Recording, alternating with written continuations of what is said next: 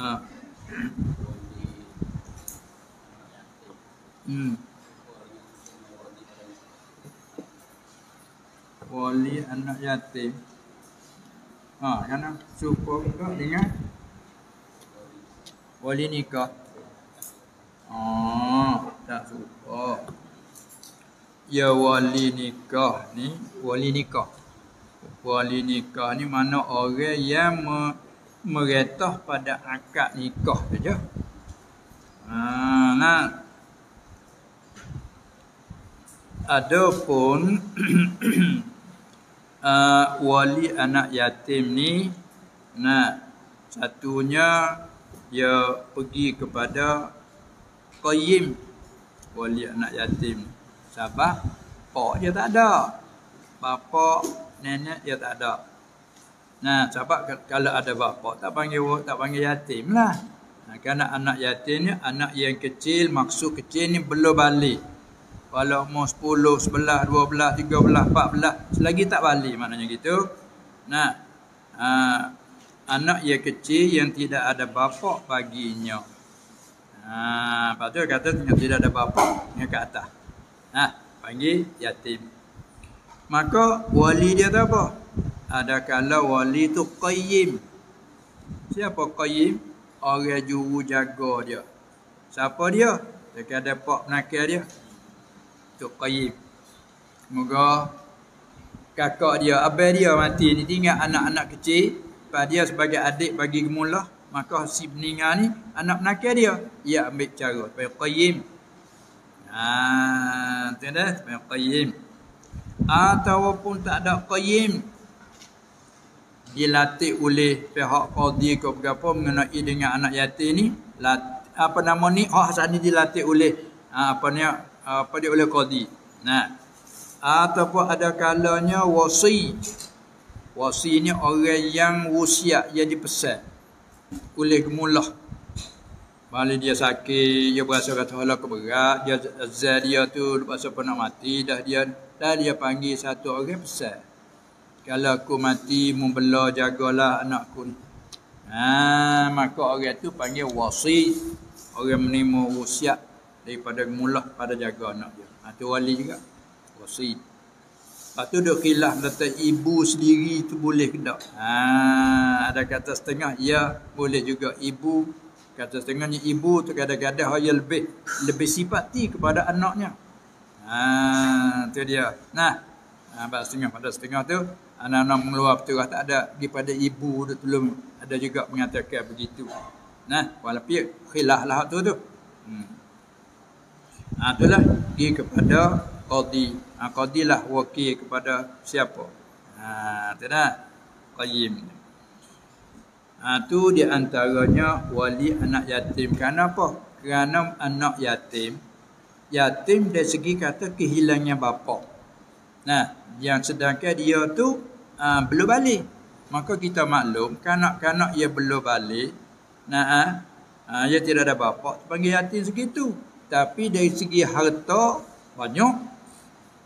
Tapi nak tasarruf nak retah sendiri tak boleh syarat tak benar kerana dia ni orang panggil belum rasi, belum cerdik, tak pandai nak jaga harta. Ha tu dia.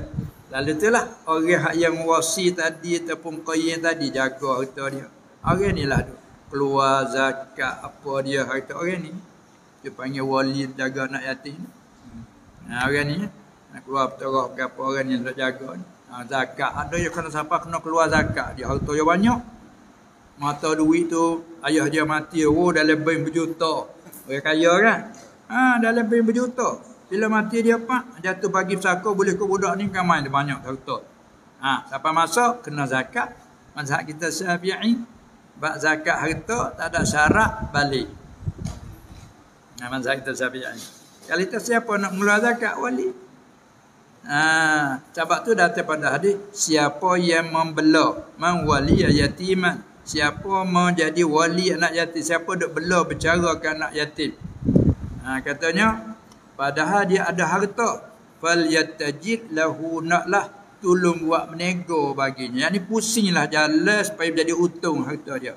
Wala yatrukuhu jangan lak biarkan harta duk begitu saja tu hatta apa dia tu takulahu uh, sedekah sehingga makan akhirnya oleh sedekah. Ini menunjuk katanya zakat wajib tapi dah dia yatim dia tak ada tasarruf harta orang lain tolong duk keluar zakat dia jangan dak lak biarkan begitu nanti habis makan di sedekah makan di zakat Ha, duit dia taruh di bank. Dia taruh dia, tak ada pun simak meniaga pada. Setahun, kena keluar. Pas juta. Ha pergi dia lah tu. Bagi-bagi boleh ke dia dah. Nyak tu. 25 ribu. Ha, so tahun depan pula. 25 ribu pula. Tahun depan pula. 25 ribu. Sama taruh dia nak balik. Allah. Budak tu baru malam tahun. Allah, banyak tahun lagi. Eh. Ha, tu tu menunjukkan kata zakat tu dikenakan. Macam apa orang nak bercara? Qayyim tadi lah. Sebab tu nak nak latih orang bercara anak hati ni kena orang adik. Kalau tidak ni kikih makan lah. Ha, wala ta'kulu amwal al-yatama zulman.